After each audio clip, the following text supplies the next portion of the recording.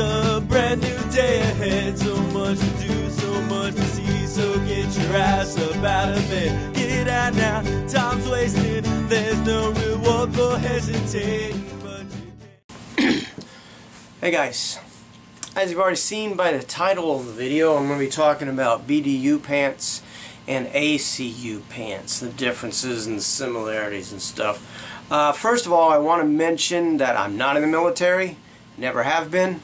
This is not any kind of official assessment, and I don't mean to speak for any of the people in uniform. This is my own personal opinion because I've been wearing military style pants my entire adult life.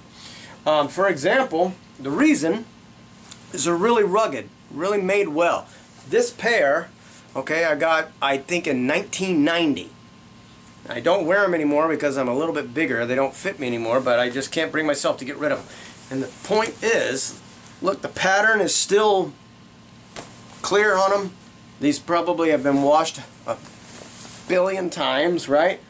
They're they got uh, some wear and tear. I think they actually have a hole in them someplace that I that I glued shut, right? Uh, they're super rugged, super durable, and so that's why I wear them. And also because of the bellows pockets that they have on them. Uh, they're, you know, you can carry a lot. I like also the freedom of movement that they provide because they're a little bit baggy. Uh, I don't like jeans because they're a little bit snug. Um, the pants, if you get mil spec pants, they're made really well and they really last. And so that's why I've been wearing them for years. And so I'm going to go ahead and get started on some of the features. Alright, first of all, like the pockets, the fly is button fly, right? Um, I suppose the idea behind that is um, they're originally made for military and the buttons are a little easier to fix in the field if it were to get damaged instead of a zipper. A zipper, if it fucks up, you're just shit out of luck. Uh, truth of the matter is we do have some good zippers these days and so that's actually uh, changed. Some of the good brands, right, like Propper, has taken to using a high quality zipper. Now, um, like I said, we've got good quality zippers these days for outdoor gear. And um, this is one of them. It's a good sturdy zipper, right? It's not fragile little zipper. Um, maybe if I was entrenched somewhere in Afghanistan, I would find the zipper.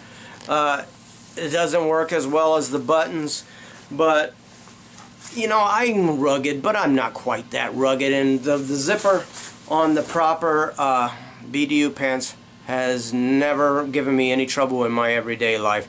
And so I'm pretty sure, like your average person, you're not going to have trouble with the zippers that are available on the brand uh, called Propper. Uh, the other brand that I wear is, Is, Rothco. um, okay, so Rothco is a good brand, and uh, Propper are a good brand. Uh, what you want to look for is mil spec. Uh, means they, they are up to the same specifications as the military uniforms.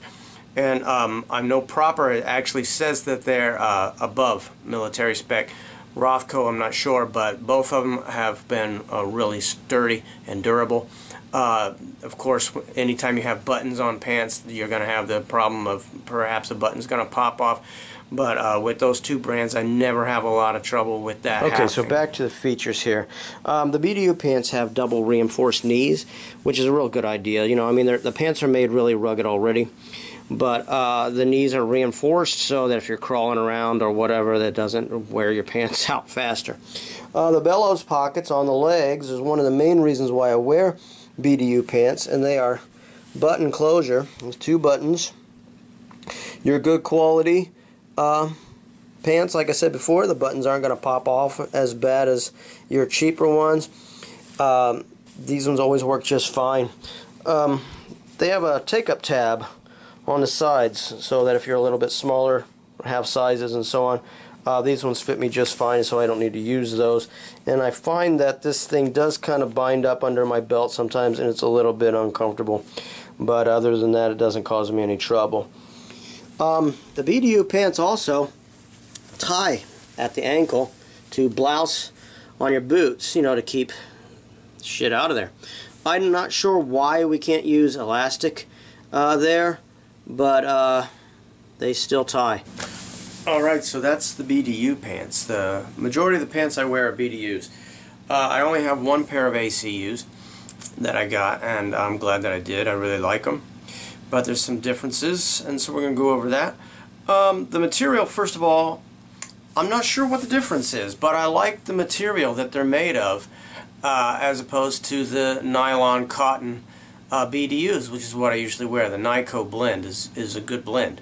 And I think it's nylon cotton for the ACUs, but they have a softer feel. And so you would think that would make it weaker. But um, I wear them in the woods and all sorts of, I work in a warehouse and I wear them in some rugged conditions and they hold up really well, every bit as good as the BDUs. And uh, they're softer to the touch. They feel softer on you. And so I'm not sure what the material is or how they did it, but I really like that part. And I really like the pattern, right, and the colors. I'm fond of the browns and greens. And so that's why, uh, for example, I showed the uh, tiger stripe ones and the desert ones. I like those ones. The desert ones are my favorites. And I like the pattern and the colors on the ACUs. Uh, once again, they have a button fly. I'm not really sure why they didn't move up to zippers, except, like I said, perhaps the uh, uh, field expedient repairs. They do not have the take-up ties on the ACUs. The ACUs have um, a drawstring in here, which once again, they, they fit me perfect, so I don't need to use the drawstring. And it kind of gets in the way uh, whenever you open the fly. If you're not careful, when you're pulling other things out, you may pull a little string out along with it. Okay, like the BDUs, the back pocket's button.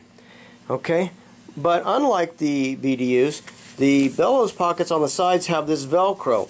Now the ACUs like Velcro a lot. I know on the military uniforms, if you look, the uh, all the insignia, rank insignia, unit patches, and everything is held on by Velcro for some reason. I personally fucking hate Velcro, and one of the reasons is that it's not sticking. Okay, these are not very old, and the pockets just do not stick anymore. Another reason, uh, as you can see, the stitching doesn't go all the way around. You got this edge.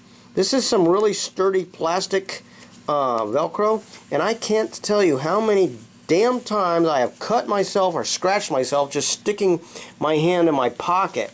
Okay, I, I this is a sharp edge, and it fucking cuts me.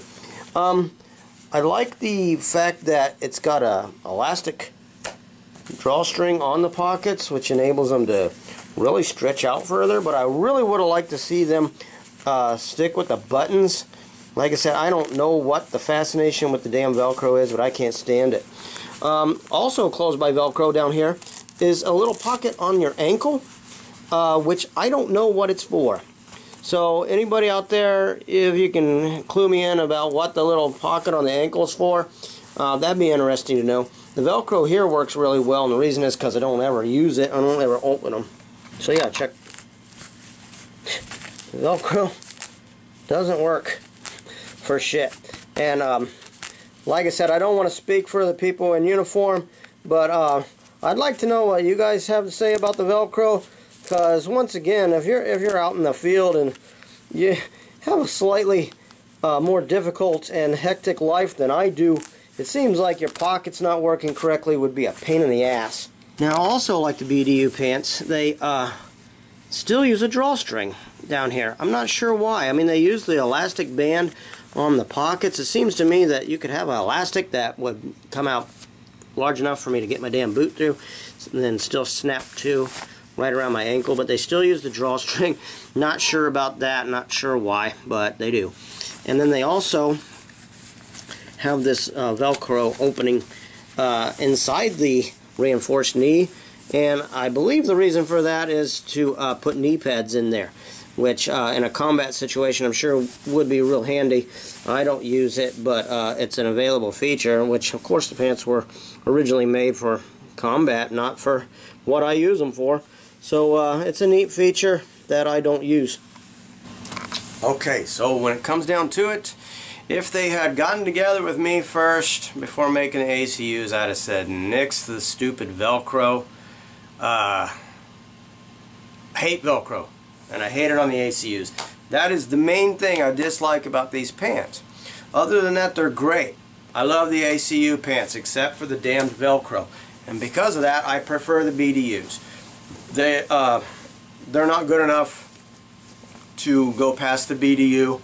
Uh, the Velcro really goes against them. So uh, that's my review on BDUs and ACUs. Hope you found it somewhat interesting and useful.